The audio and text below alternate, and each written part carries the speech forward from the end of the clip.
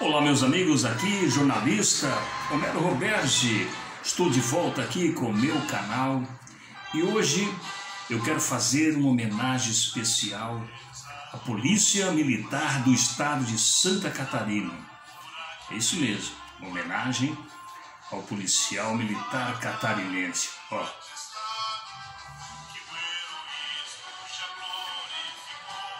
Mas antes eu peço a você, se inscreva aí no canal Homero Roberto, se inscreva aí pessoal, deixe o seu like, compartilhe, compartilhe com seus amigos, compartilhe aí com os, com os colegas de trabalho, enfim pessoal, dê uma força aqui ao canal Homero Roberge, estou precisando aí. Salve o PM catarinense. Vocês sabem que Antes, eu quero fazer uma pequena homenagem aqui a alguns capivarienses ilustres. É, antes de mais nada, uma homenagem ao meu grande amigo de infância, o Danil. Alô, Danil! Cometi uma gafe com ele, falei que ele era oficial da Marinha Mercante. Na realidade, ele foi oficial da Marinha de Guerra, isso mesmo foi comandante das capitanias dos portos aqui de Laguna, Ibituba, Florianópolis, Rio de Janeiro, Manaus. Andou pelo esse Brasil afora o nosso amigo Danil, agora está na reserva, morando no Rio Grande do Norte. Um grande abraço.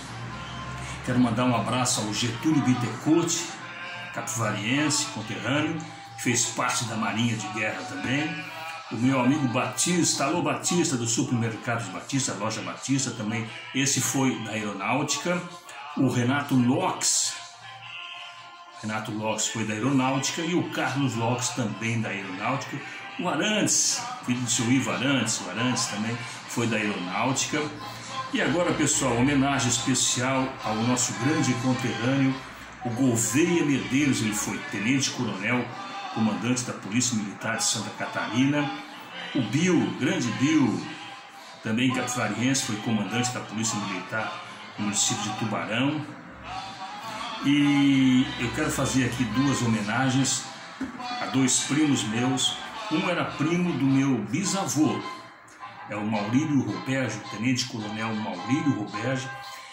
Nos anos 50 ele era capitão PM, ele foi delegado aqui na cidade de Tubarão grande Maurílio Roberge, meu primo, foi delegado nos anos 50 é, aqui na cidade de Tubarão como PM capitão.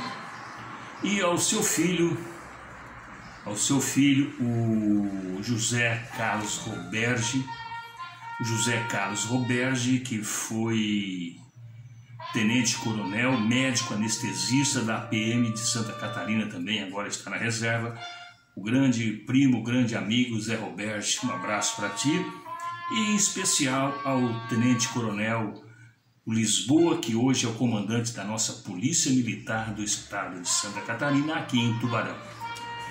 Está dado o recadinho aí, os grandes capivarienses, ilustres soldados da Polícia Militar, do Exército, da Aeronáutica, da Marinha. Pessoal, vejam bem, ah, recentemente aconteceu aqui na nossa vizinha cidade, Criciúma. Criciúma, para quem está pelo esse Brasil afora, pelo mundo acompanhando o canal Homero Roberge, Criciúma foi sitiada. É isso mesmo, uma quadrilha, uma quadrilha de bandidos, aqueles bandidos profissionais que sitiaram a cidade para assaltar o Banco do Brasil. Teve. Deixa eu dar uma baixadinha aqui no, esse é o Cisne Branco, homenagem a Danilo. É, e vejam bem, essa quadrilha, ela no último dia primeiro, agora dia primeiro de, de dezembro, a quadrilha sitiou o centro de Criciúma para atacar o Banco do Brasil fez reféns e efetuou o assalto. De início eles entraram em Criciúma isso, claro, premeditado, já estava super preparado, que eles tinham um galpão alugado próximo ali à cidade de Sara, um galpão alugado ali, tinha vários carros ali, carro blindado, carro de luxo, foram todos pintados com spray, entraram na cidade e para começar eles tocaram fogo num carro, jogaram na frente do batalhão da PM em Criciúma e atiraram é, na guarita, na entrada do quartel, um fuzil 767, aquele fuzil com uma bala que derruba um avião, que fura a parede. Fizeram um estardalhaço, jogaram bomba, eles estavam armados com fuzil é, 767, grana, gra, bombas, várias bombas, inclusive quando eles evacuaram a cidade, esqueceram várias toneladas, vários quilos de bombas na cidade, bazuca, que joga granada, enfim, metralhadoras, estavam muito bem equipados, carros blindados, e eles atacaram o quartel da PM para poder assaltar o banco tranquilos, fecharam o Morro do Formigão, fizeram um cerco total para que a PM de Tubarão não fosse até lá dar uma ajuda, enfim, fizeram um verdadeiro terrorismo com a cidade de Tubarão, de Criciúma, fizeram reféns no, no assalto ao banco, levaram muito, mas muito dinheiro. E a PM, claro, conseguiu sair do quartel, a PM conseguiu fazer um cerco a eles, a PM de Tubarão, através do tenente-coronel Lisboa, conseguiram chegar a Criciúma com 30 soldados muito bem preparados.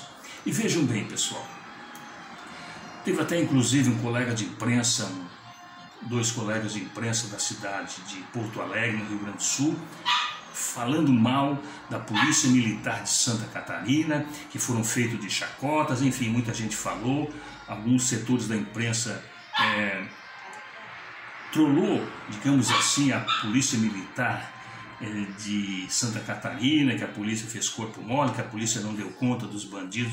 Vejam bem, pessoal, uma quadrilha dessa, quando vai assaltar um banco, é uma organização, é uma facção organizada.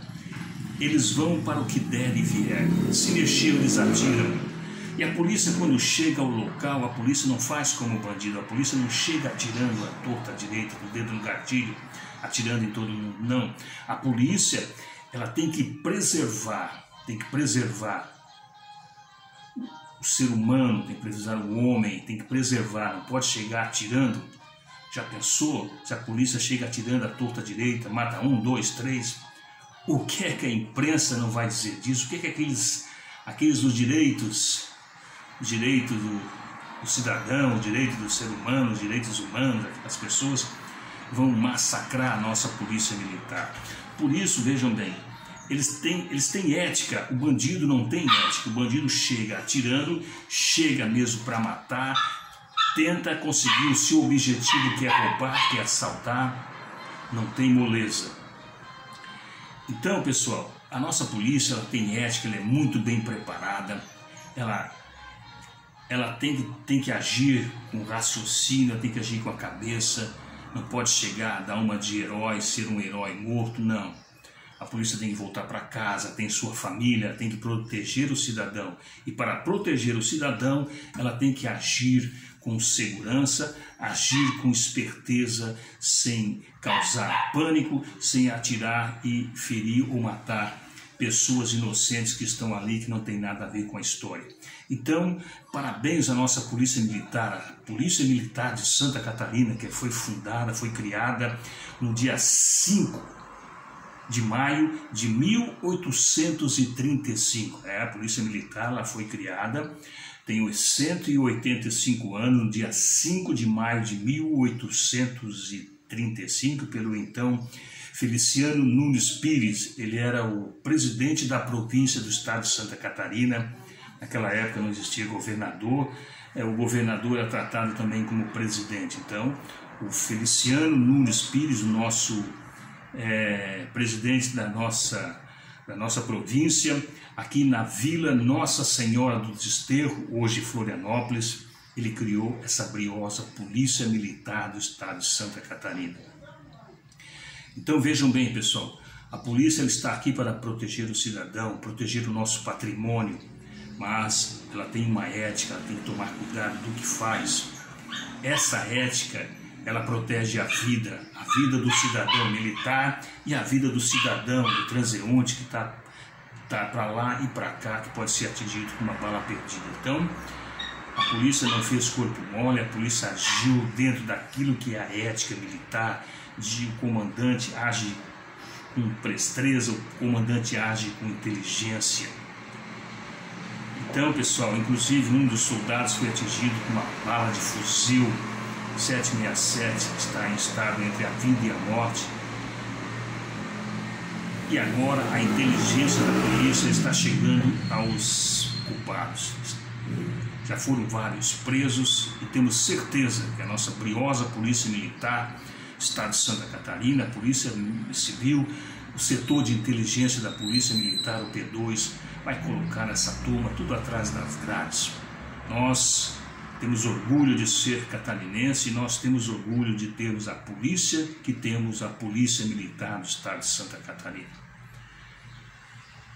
Então vejam bem, a polícia agiu certo, agiu com presteza, de uma grande facção que não tem ética, chega atirando em tudo que se mexe, chega atirando para cima, para baixo e para o lado.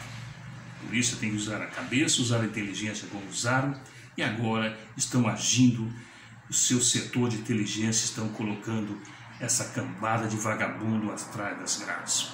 Parabéns, Polícia Militar do Estado de Santa Catarina. Parabéns, parabéns, Criciúma, sobre se comportar ao prefeito Salvaro de, do município de Santa Catarina, que muito bem sabe representar o seu município.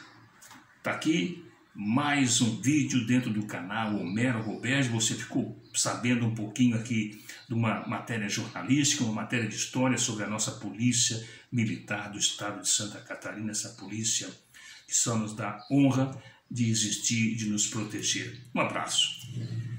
Se gostou, deixe o seu like, compartilhe, compartilhe com seus amigos, inscreva-se no canal Homero Roberto, dê essa força aí, precisamos chegar a duas mil inscrições agora até final do ano, conto com vocês.